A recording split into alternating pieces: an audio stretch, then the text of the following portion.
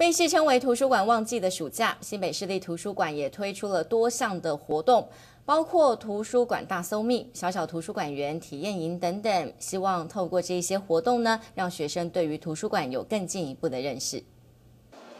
图书馆除了可以借阅书籍，还有其他的功能吗？新北市立图书馆及各区分馆分别推出了图书馆大搜密、小小图书馆员体验营等活动，让学生对图书馆有更进一步的认识。在暑假期间，我们针对小朋友办了很多阅读、儿童阅读的活动。那儿童阅读的活动包括像是让小朋友来体验成为一个图书馆员。怎么用蜘蛛借书机来借还书啊？或者是书籍要怎么上架啊？那甚至有一些排架比赛，还蛮有趣的。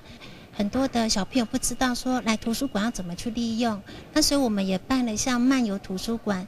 或图书馆大搜迷这类的，就是教小朋友如何去利用图书馆，那如何去很快速的找到架上的这些书籍。如果没有机会参加这些活动，小朋友也可以在网站下载，或是向图书馆索取阅读手札。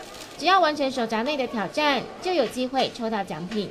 那另外我们还设计一个阅读手札，哦，这一本阅读手札里面是。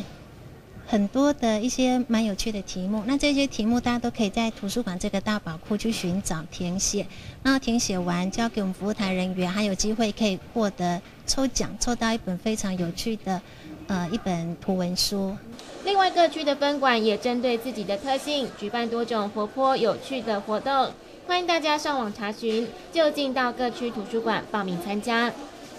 天外天新闻罗志忠、林景瑜新北市采访报道。